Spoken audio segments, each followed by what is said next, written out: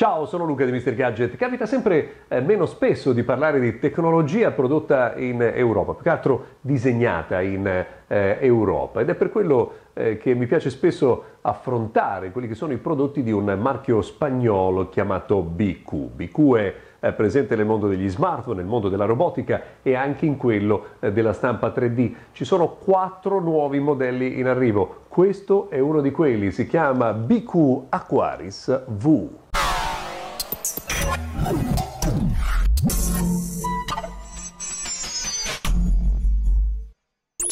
Ecco dunque il nuovo BQ Aquaris V che è un eh, smartphone, uno smartphone che arriva a una delle due versioni della linea eh, V. Eh, torniamo a vedere il telefono dopo, adesso guardiamo cosa c'è dentro la confezione, apriamo eh, la letta che mostra il caricabatterie con il quick charge, il piripacchiolo per accedere allo slide eh, della SIM e poi il cavo per la eh, connessione dati. Non ci sono delle cuffie eh, dentro eh, la eh, confezione.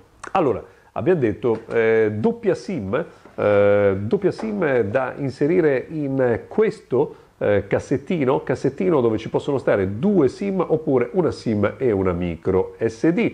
Parte superiore con l'attacco per le cuffie da 3 mm e mezzo, mentre vedete su questo lato il volume rocker, il controllo del volume poi il eh, pulsante d'accensione. Sulla parte posteriore il eh, sensore eh, fotografico, che tra l'altro è un sensore Sony, ma poi ci torniamo, quello per eh, le impronte digitali e nella parte inferiore eh, microfono, connettore che curiosamente è un connettore micro USB e poi l'altoparlante.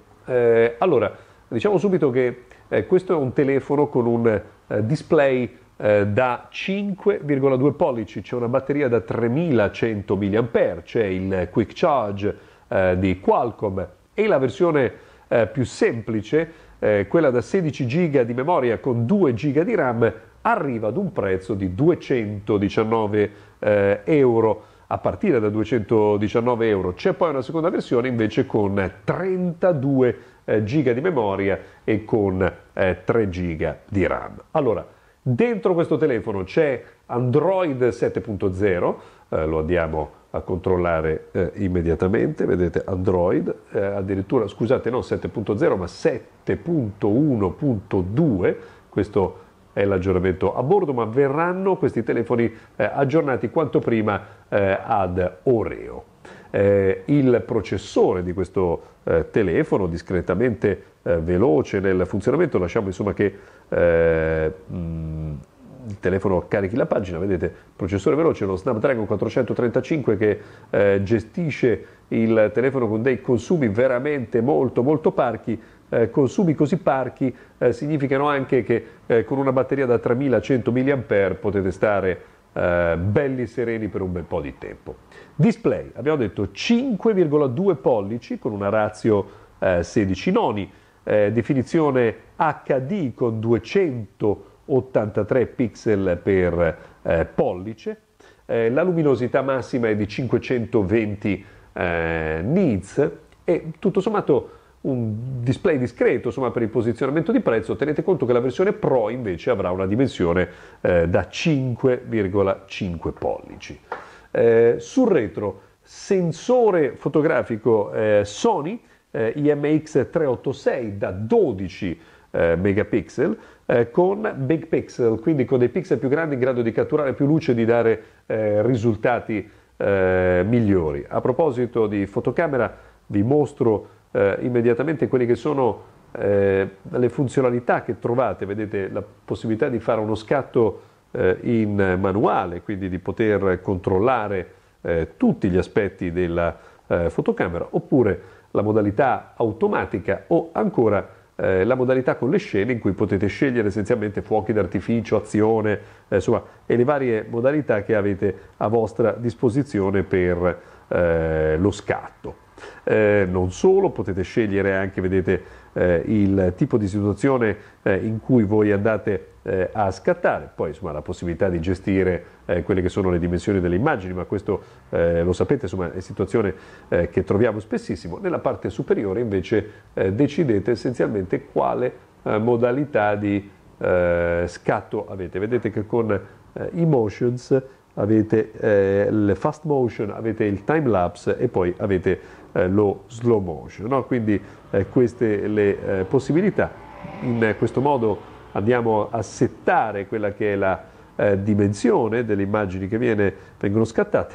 C'è un formato panoramico per lo scatto e anche, vedete, sulla fotocamera la possibilità di eh, stabilire le griglie, mettiamo ad esempio, vedete l'automatismo, con l'automatico avete anche eh, l'HDR che può essere HDR eh, Plus, vedete qui, questo riduce leggermente il eh, tempo di messa a fuoco e di scatto della eh, fotocamera, ma risultato eh, fotografico più che buono. Ecco, vedete, con l'HDR Plus è leggermente più lento lo scatto, se invece io ad esempio metto anche l'HDR eh, normale, vedete come l'elaborazione, sì, insomma più o meno siamo lì, però insomma, è leggermente eh, più eh, veloce. E l'immagine, eh, allora, non ha una fedeltà del colore altissima, perché guardate cosa c'è sotto e guardate cosa c'è dentro e qui, però probabilmente il verde diciamo che non aiuta eh, nel trovare eh, un bilanciamento del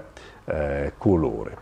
la messa a fuoco è ovviamente automatica, eh, la risoluzione dei video è di 1080 pixel per i video a 30 frame al secondo, se fate invece uno slow motion avete 480 pixel per eh, 120 frame al secondo e potete fare anche lo scatto in eh, formato eh, RAW.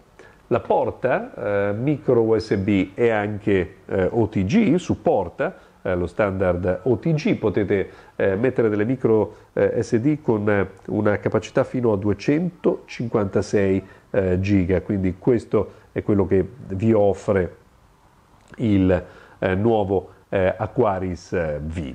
Come detto, c'è anche un sensore frontale di fotocamera, ovviamente, questo di eh, Samsung da 8 eh, megapixel per eh, l'esattezza, con un'apertura 2.0. La differenza tra le due fotocamere è che la fotocamera frontale ha 4 lenti, la fotocamera posteriore di Sony invece ne ha 6 per una qualità diciamo delle immagini che sia superiore. Uh, non ci sono, adesso vi faccio sentire l'audio di questo telefono, ascoltando sempre Radio Number One. Vedete, questa è la, la sorgente dell'audio.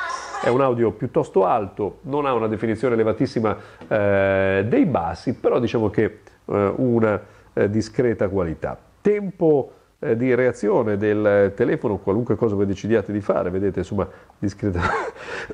scusatemi, discretamente veloce eh, in qualunque attività che eh, vogliate mettere in pista del telefono.